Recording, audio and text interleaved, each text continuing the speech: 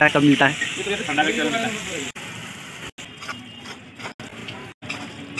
चखने वाले हैं। भारत का सबसे खतरनाक। जी हाँ आपने थंबनेल में जैसा देखा भारत का सबसे खतरनाक बगेड़ी का मीट जिसे खाने से आपको पाँच साल तक की जेल तथा पचास हज़ार रुपये तक का जुर्माना भी हो सकता है। तो आइए वीडियो को शुरू करने से पहले आप सभी का हमारे चैनल फ़ूड ट्रेवल पे स्वागत है। Indian wildlife protection act के तहत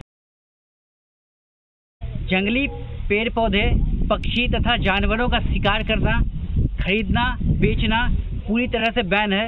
ऐसा करने पे आपको पाँच साल तक का जेल तथा पचास हज़ार तक का जुर्माना हो सकता है। फिर भी बगेड़ी जैसे पक्षियों का खरीद, बिक्री और व्यापार चालू है, जो आए दिनों हम विभिन्न प्रकार के न्यूज़पेपरों के माध्यम से हमें देखने को मिलता है। तथा यूट्यूब पे भी बहुत सारे वीडियो अवेलेबल है जो बगेड़ी को बनाने और बेचने के बारे में बताते हैं, जो आपको अभी दिखाया जाएगा। यह वीडियो YouTube पर पहले से अवेलेबल है, जिसमें आप देख सकते हैं कितनी क्रूरता से इन पंछियों का व्यापार चल रहा है। YouTube पे अवेलेबल यह एक दूसरा वीडियो है, जिसमें बगेड़ी को बनाना दिखाया गया है, जो कि एकदम लॉ के अगेंस्ट है। सबसे पहले कढ़ाई में तेल को गर्म किया गया है फिर तेज पत्ते और सूखी लाल मिर्च को डालकर इसे थोड़ा ब्राउन किया गया। फिर इसमें कटे हुए प्याज को डालकर इसे ब्राउन होने तक फ्राई किया जाएगा। जब ये हल्का ब्राउन गोल्डन कलर का होगा तो फिर इसमें मसालों को डालकर अच्छे तरह से फ्राई किया जाएगा।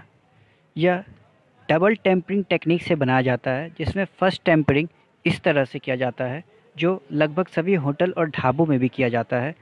फ़र्स्ट टेम्परिंग कंप्लीट होने के बाद इसमें मीट को डाला गया और इसे फ्राई कर लिया गया और यहाँ हमारा फ़र्स्ट टेम्परिंग कंप्लीट होता है और सेकंड टेम्परिंग होटल में ऑर्डर देने के बाद किया जाता है। तो वो आपको हम होटल पहुँच कर दिखाएँगे। तो इसी क्रम में हमें पता चला है कि हमारे शहर के होटलों और ढाबों में भी बगेड़ी परोसा जा रहा है। तो क्या ये सच में बगेड़ी परोस रहे हैं? अगर ये बगेड़ी नहीं परोस रहे हैं तो फिर क्या परोस रहे हैं? अगर हाँ बगेड़ी परोस रहे हैं तो फिर ये कैसे परोस रहे हैं? तो आइए चलते हैं, आपको पूरी वीडियो दिखाएँगे कि ये बगेड़ी है तो आखिर कैसे है, अगर नहीं है तो फिर बगेड़ी के बदले वो क्या है? तो चलिए, चलते हैं उस बटर भैया हल्का ही डालिएगा इसमें, ठीक ना? और पूरा भ्यू मिले हमारे ऑर्डर देने के बाद सेकेंड टेम्परिंग स्टार्ट हो चुका है। तो आपको दिखाते हैं ये कैसे होता है। आज दिखा दीजिएगा, सुंदर सेंट आता था उसे।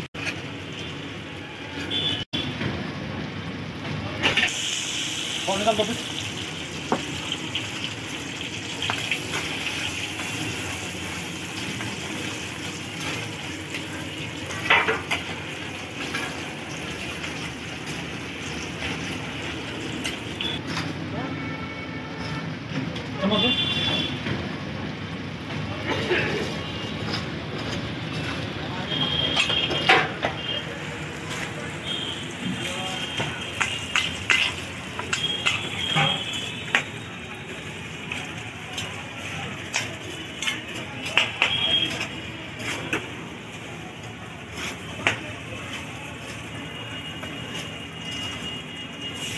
क्या मसाला भैया डाल दें। जीरा है लहसुन का पेस्ट। जीरा और लहसुन का पेस्ट।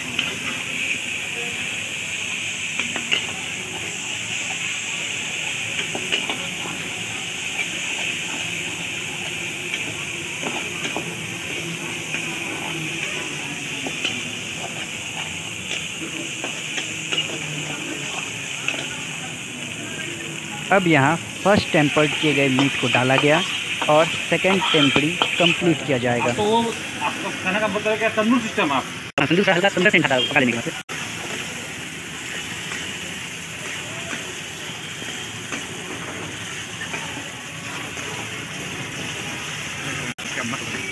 हैं लजीज देख रहे हैं सर हाँ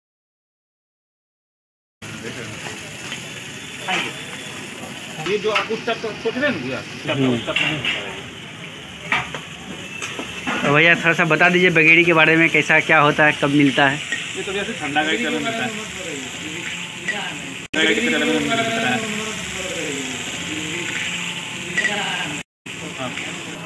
है मतलब कब से कब किस किस मंथ में मिल जाएगा ये? कितने से कितने मंथ तक मिलता है बीच में? गाइज़ आपने देखा हमारे बगेड़ी के बारे में पूछने पर होटल मालिक ने किस तरह से अपने स्टाफ को रोका और उन्होंने बताया कि हम पटेल खिलाते हैं। आप बगेड़ी के बारे में क्यों पूछ रहे हैं? तो अब यह कुछ भी बताने को तैयार नहीं है फिर भी हम ट्राई करते हैं कुछ पूछने की। चलिए चलते हैं। और एक दो महीने के बाद से तो मिलना बंद हो जाएगा। कभी भी बंद हो सकता है। गर्मी पड़ना पड़ चुका है। जनरली ठंडे में पाया जाता है। और इसमें गर्मी भी बहुत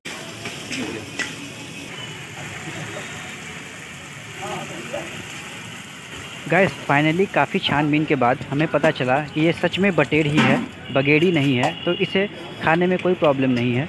तब हम भी इसे टेस्ट करेंगे और आपको बताएँगे ये कैसा लगता है।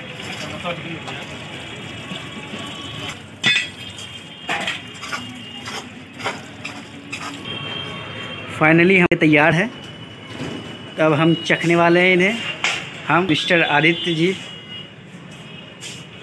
ये आ गया हमारा रोटी। और अब हम रोटी और ये हम आपको चख कर बताते हैं कि ये कैसा लगा ठंडे में इसको राजा माना जाता है मीटों में। सबसे बेस्ट मीट में भी इसको गिना जाता है। और कुछ महीने बचे हुए हैं, इसके बाद फिर आपसे मिलते हैं। और बताइए आपको बचे आपको खाने के तो हमारे वीडियो में बने रहिएगा। आप लोगों ने देखा कि वो बगेड़ी के नाम पे किस तरह से बटेर खिला रहे हैं लोगों को और लोग भी बटेर को बगेड़ी समझ के अंधाधुन खा रहे हैं। हमने होटल वाले से पूछा कि आप ऐसा क्यों कर रहे हैं? आप डायरेक्ट बताइए कि हम बटेर ही बना रहे हैं। ऐसे बटेर जो छोटे आकार के होते हैं, उनको बगेरी के नाम पे लोग उन्हें खरीदते हैं और जब लोग पूछते हैं तो हम उन्हें डायरेक्ट बताते हैं कि ये बगेड़ी नहीं, बटेर है। पर लोग जो डायरेक्ट आते हैं, वो इसे अपनी स्वेच्छा से खाते हैं। तो इसमें कोई दिक्कत नहीं है। तो हमारे भारत में बहुत सारे ऐसे राज्य हैं, जिनमें बटेर पालन के लिए उनको बहुत सारे सब्सिडीज़ दिए जाते हैं। जैसे छत्तीसगढ़ सरकार में 90 परसेंट तक सब्सिडी देने का ऐलान किया है इसकी। तो हम आपको फिर से बताना चाह रहे हैं, हम कोई भी ऐसे पक्षी, जानवर और पेड़ पौधे जो कानूनी रूप से अवैध हैं उनके खाने, बेचने और पकड़ने पर पूरी तरह प्रतिबंध है। बिल्कुल प्रमोट नहीं करते हैं, जो सरकारी कानून के अनुसार अवैध है। तो आप लोगों से भी विनम्र निवेदन है कि ऐसे जीव जंतु पेड़ पौधे और पक्षियों को सेवन ना करें। धन्यवाद। Welcome to our channel food travels अगर आप लोगों ने अभी तक चैनल को सब्सक्राइब नहीं किया है तो पहले चैनल को सब्सक्राइब कर लें और इस वीडियो को लाइक कर दें।